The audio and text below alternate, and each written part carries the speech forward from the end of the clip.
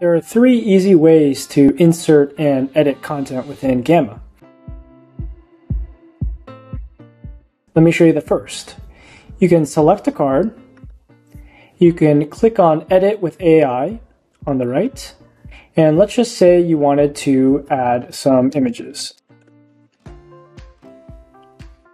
Great. Now that you found some images you want to add, you can simply click on them and drag them directly into your card. The second way is to use the slash command.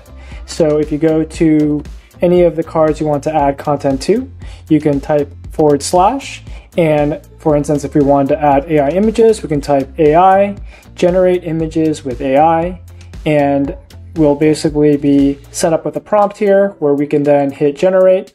And here in this case, AI will be generating an image for us to then include within our presentation. And the last way is to use what we call the insert menu on the right here. So you can add images, diagrams.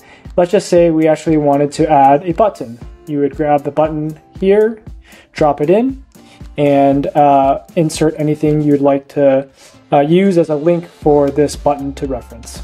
And that's it.